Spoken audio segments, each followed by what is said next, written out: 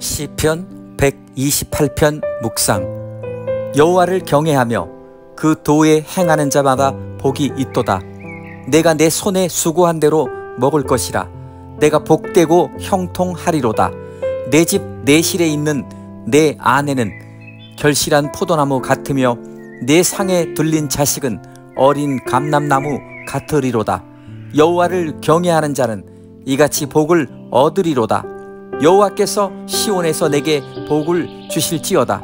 너는 평생에 예루살렘의 복을 보며 내 자식의 자식을 볼지어다. 이스라엘에게 평강이 있을지어다. 아멘